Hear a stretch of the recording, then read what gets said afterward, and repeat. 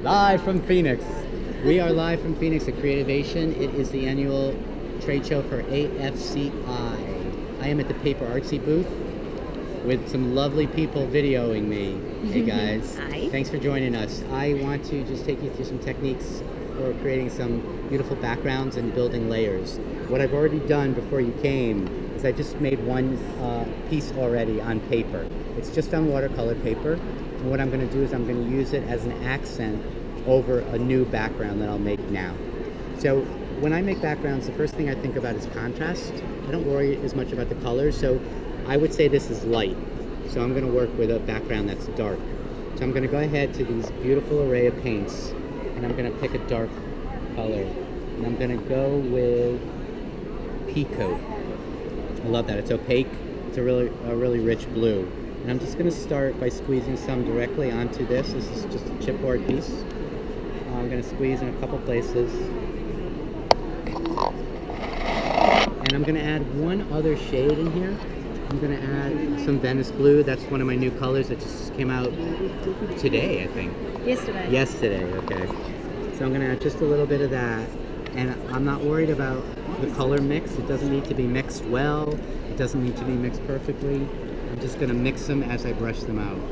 I'm gonna get a brush, but I paint dry, so I'm gonna wipe it down. So I'm just gonna brush this out. And you'll see the colors intermingle kind of randomly.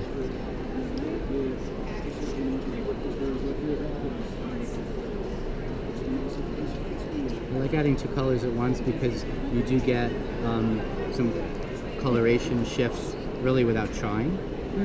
Looks like you just made double denim. Oh my god, I made my other new color. It wasn't so tricky to create then. no? A little Oh, darker double darker. denim. See how easy it is to make paints? You can too at home.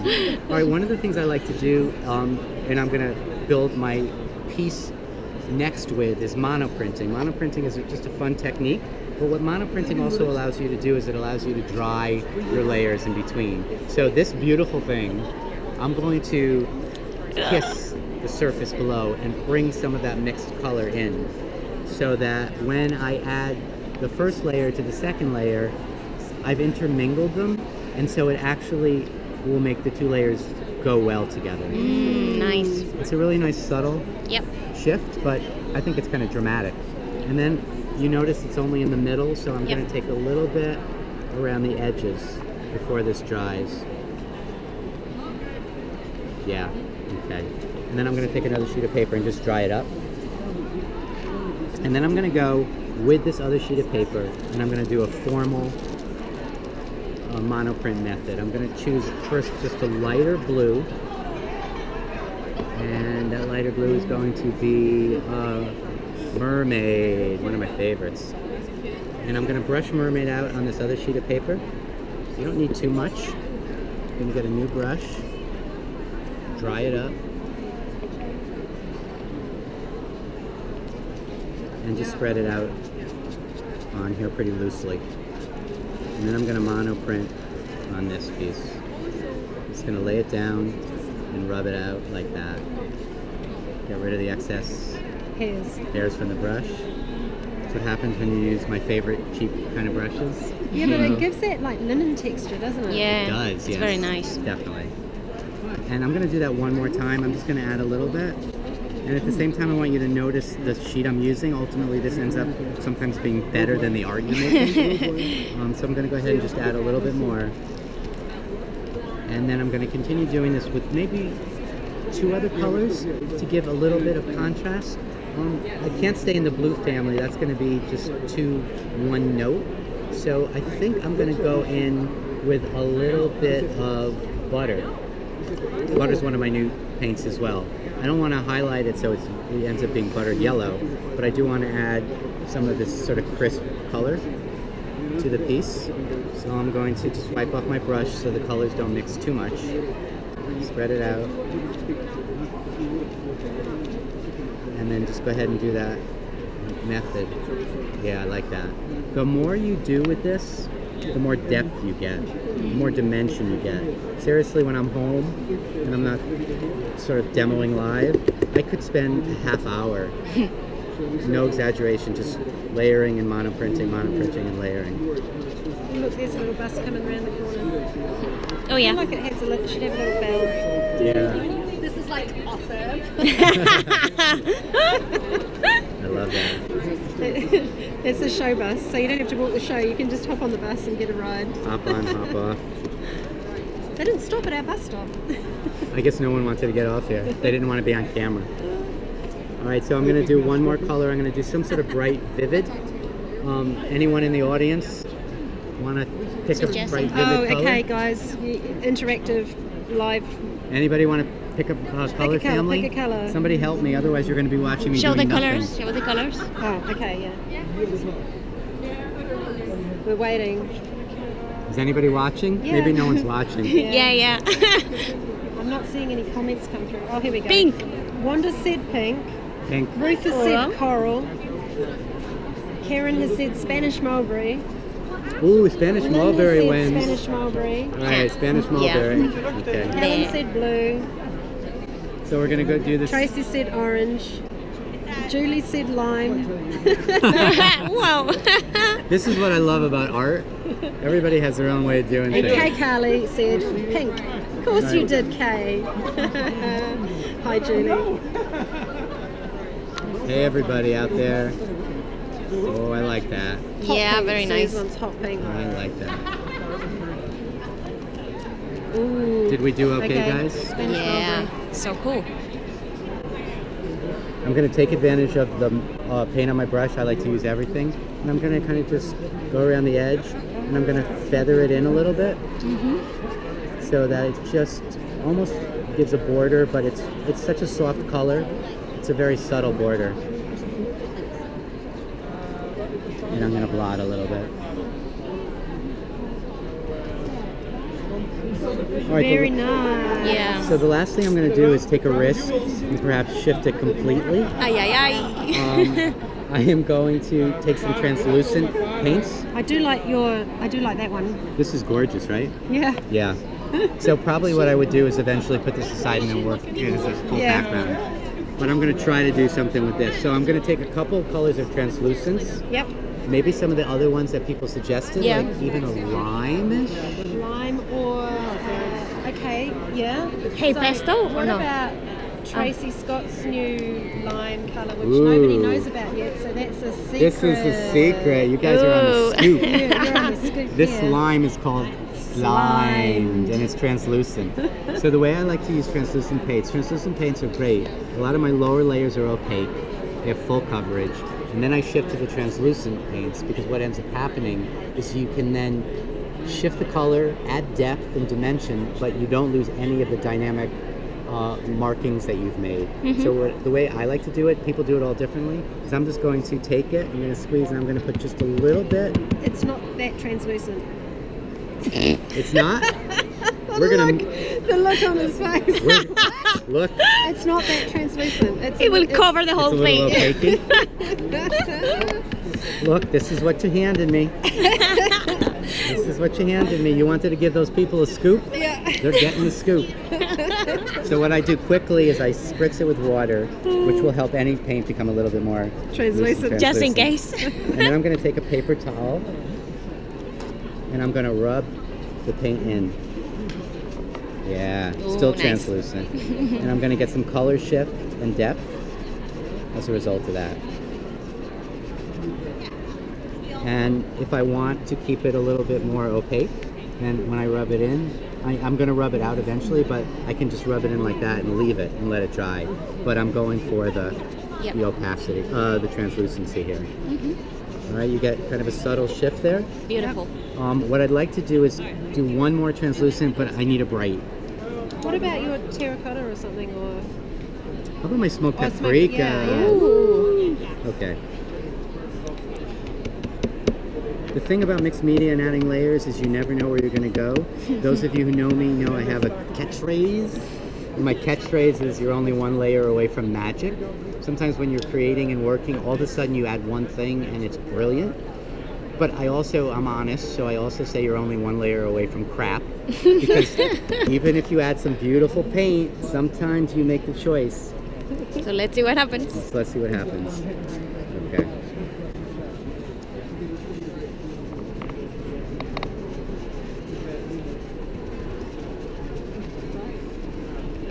I don't know what we're thinking out there. I don't hear any clapping.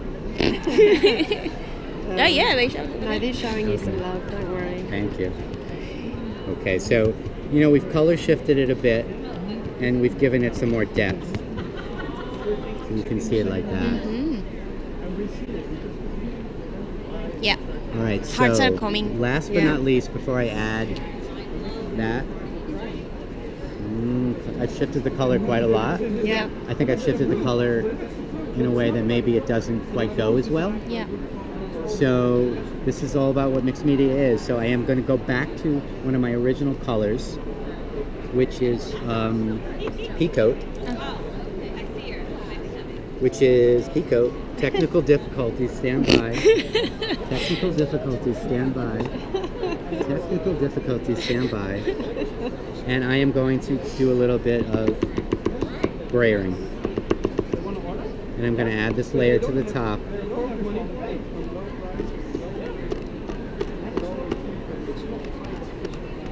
and I'm going to have some of the colors uh, that I have there come up from underneath. And I think that's going to integrate it better with the piece that I want to add. Yep.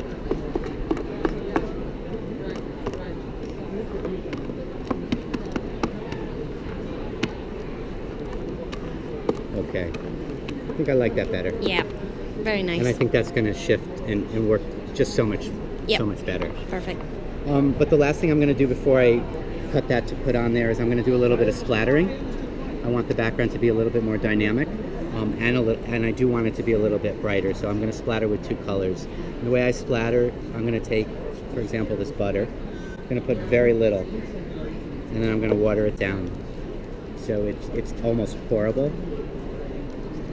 And then I'm going to take the back of a small paintbrush, if I can find one. Got it. Ooh, that perfect, perfect. And I'm gonna stir it up so I get the pigment mixed. And then if I might do it with a toothbrush, but I used my toothbrush in my mouth this morning. So I'm going to use a small paintbrush and I'm gonna add some some splatter. Great. And I felt it was a little too dark. This is going to add some lightness Mm-hmm. and some brightness. I don't want that big splats. I just want the small splats. So I'm, it's very forgiving. And then I'm going to do it with one other color.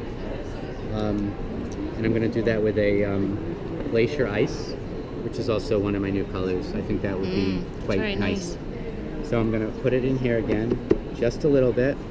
Is that on camera? Yep. That a little bit? You really don't need much. Stir it up.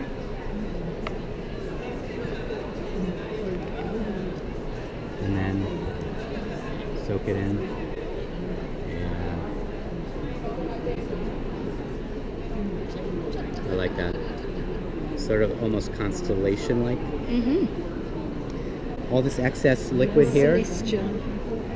like let's not waste it so um, I got some random background here. Let's just use it. And maybe see if we can get to drip down. And in this in doing so we'll start a background. Yeah there we go. We can just put this aside to dry and we can just then build over it. Am I blocking the view Okay.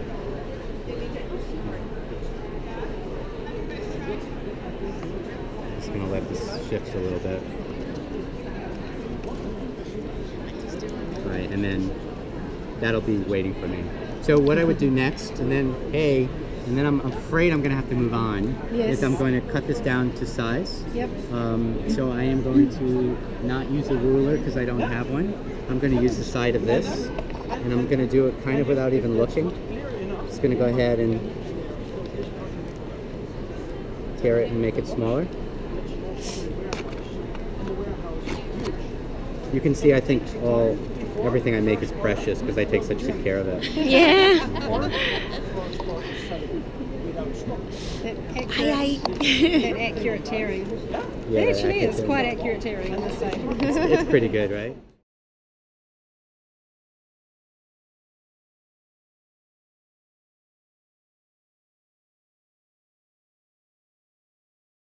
Butter. Everybody needs some butter. This is an opaque yellow with a really crisp edge to it. Magic Moss. I love that name. Happy I came up with it. Um, it's almost as good as all the other PaperArtsy names that they come up with. And this is like grass. It's like freshly cut grass. And double denim. We spent literally hours in England this past year matching our jeans to paint until we came up with the ideal denim. The four uh, colors are either all actually this set they're all opaque. You can do amazing things with this with stamping and stencils. So that's the summer set. I want to move over to the winter set. I love this. I find this set really elegant. Leandra thinks it's girly, but I, I kind of think it's elegant. There's Yeah. glacier ice, It's very nice. which is just this icy, icy blue, really light. Um, works really well with the purples. Spanish mulberry, which actually I would love to take credit for, but it was a former color that was retired at PaperArtsy. It is now being brought back. That's the girly one, I guess. I'm embracing my pink. Uh, Venice blue, I absolutely love that. It's sort of a blue purple tone, and then steel grays, which I thought I kind of I really love, but I almost think of it as um, sort of a nude neutral, Yeah. a little bit different. It's a really nice grey. It's beautiful gray, and they're all either opaque or semi-opaque. So these paints really work well with stenciling, with journaling, journaling with backgrounds. Um, I'm excited about them, and I'm also excited about how they blend together and how they work with my my eight earlier sets. So we're gonna walk around front. It's a little crazy here because there's carpeting all over the place, Yeah. rolled up. First, I just want to show you a little my colorations. These are my my uh, 16 colors. And yeah, this isn't gonna work, guys. but you guys can do that. I just love the color uh, color palette that's been created here. And um, there's gonna be more. But we don't need to talk about that now because these are new. Just we have my stamp sets here. Again, beautiful etched rubber. I don't know if you can see with the packaging just how deep and detailed that is. It's really quite extraordinary so much detail. We'll be showing you this much more all the next three days. There's some artwork here that Glenda Miles did, which shows off in the background a lot of my stamps. She rocked it for me. And then some uh, bright artwork that shows some of the colorations of my new line. Yeah, from the Again, summer, we're going right? to show you this in much more detail in the next three days. You can see here also the package, uh, the package colors. So we're gonna we're gonna cut this because I know if this video is too long, no one's gonna be watching. So again, I'll remind you, Creativation, Phoenix from AFCI, PaperArtsy Booth, my new releases. You can go to, on my site, uh, thealteredpage.blogspot.com. You can go on PaperArtsy site and you can find um, all the information about the new releases. The, the amazing thing about PaperArtsy is that these are in shops now. You can find them online in some brick and mortar shops. You can buy them off my website. Um, and we're going to show you how to use them all weekend long. Thank you so much for coming here. Thank you, PaperArtsy, for hooking me up. we will see you all weekend long. Take care, guys. guys.